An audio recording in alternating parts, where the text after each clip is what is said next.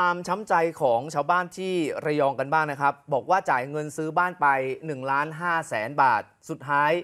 ได้บ้านทิพย์อืมก็คือไม่ได้บ้านนะค่ะนะฮะไปแจ้งความก็แล้ว ร้องกองปราบก็แล้ว ยังไม่มีวี่แววนำซ้ำถูกฟ้องกลับอีกต่างหากนะครับ ล่าสุดเนี่ยไปเจอข้อมูลผู้เสียหายมีเยอะมากนะ แล้วมูลค่าความเสียหายมากกว่า 30 ล้านบาท โอ้โหอะไรจะขนาดนี้ อะท่านผู้ชมครับ ผู้เสียหายคือท่านนี้ครับ คุณบุญยภาสงวนวงศ์นะครับ เป็นชาวตำบลทับมาอำเภอเมืองจังหวัดระยอง เล่าให้ฟังแบบนี้ครับว่า เธอเนี่ยไปซื้อบ้านมือสองหลังหนึ่ง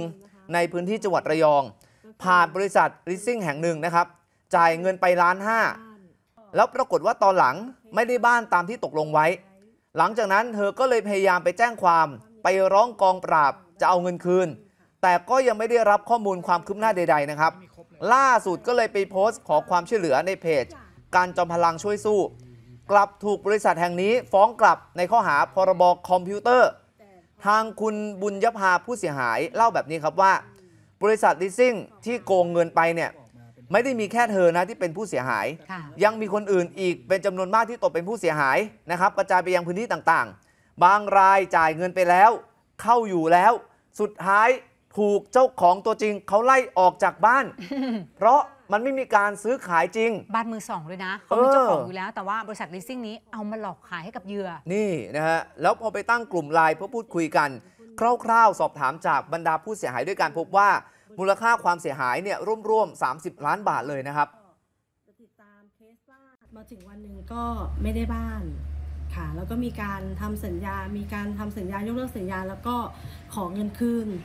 แต่สุดท้ายก็ไม่ได้ค่ะ เราก็เลยก็เลยเข้าไปแจ้งความที่โรงพักนะคะ แล้วก็ยังนิ่งเฉย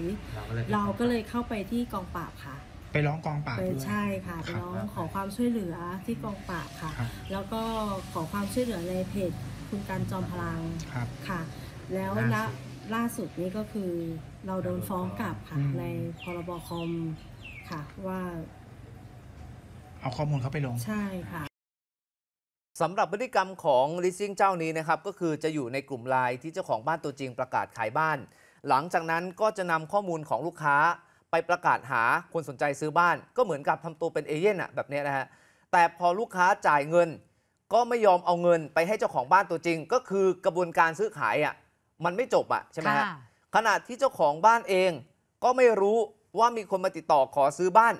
แล้วบางรายก็เพิ่งมารู้ หลังจากที่มีคนเข้าไปอยู่ในบ้านแล้ว ถึงมีบางคนถูกไล่ออกจากบ้านมานี่ไงนะฮะ